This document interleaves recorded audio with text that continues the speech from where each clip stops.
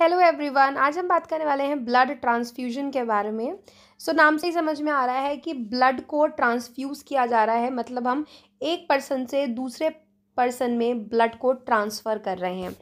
सो so, इस video के अंदर हम बात करेंगे सबसे पहले इसके इंट्रोडक्शन उसके प्रिकॉशंस और what are the hazards of blood transfusion के बारे में। So now let get start first of all start with the introduction part blood transfusion is the process of transferring blood और blood components from one person to the another person so जो person blood देता है, उसको बोलते हैं donor और जो blood लेता है, उसको कहते हैं recipient transfusion is done as a life saving procedure to replace blood cells और blood product lost through bleeding जब हमारी बॉडी से बहुत सारी ब्लीडिंग हो जाती है तो उसमें हमारी बॉडी की ब्लड सेल्स और बहुत सारे ब्लड प्रोडक्ट्स का लॉस हो जाता है, उसको हम रिप्लेस कर सकते हैं with the help of the blood transfusion ये एक तरीके का लाइफ सेविंग प्रोसीजर है, इससे हम लोगों की जान बचा सकते हैं।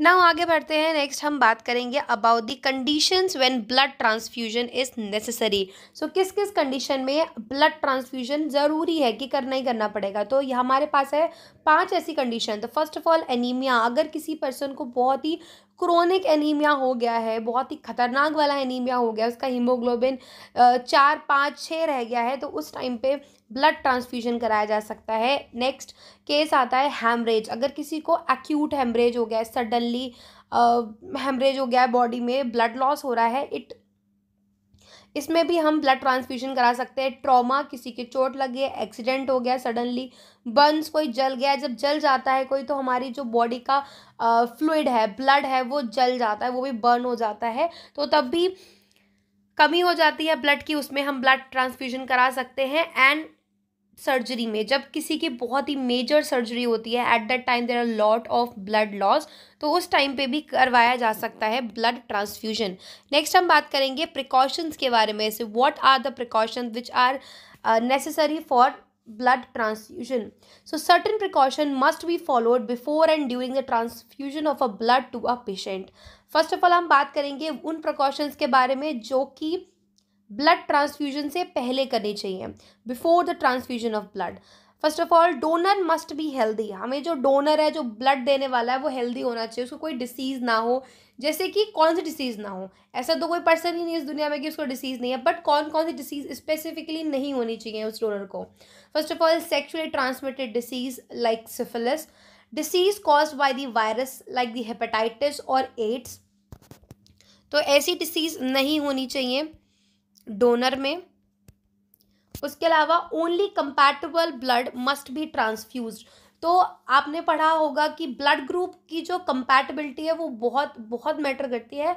सो ब्लड ग्रुप कंपैटिबल होना चाहिए, तभी हमें ब्लड ट्रांसफ्यूजन करना चाहिए। Both matching and cross matching must be done and R H compatibility must be confirm तो ब्लड ग्रुप के साथ साथ जो आर एच पॉजिटिव और निगेटिव होता है, वो भी पता होना चाहिए कि ये पर्सन आर एच निगेटिव है और पॉजिटिव है। तो ये चार चीज़ों को ध्यान रखना है before the blood transfusion. Next हम बात करेंगे what are the precautions to be taken while transfusing blood जब ब्लड ट्रांसफ्यूज कर रहे हैं एट दैट टाइम ड्यूरिंग तब हमें क्या प्रिकॉशंस लेने चाहिए?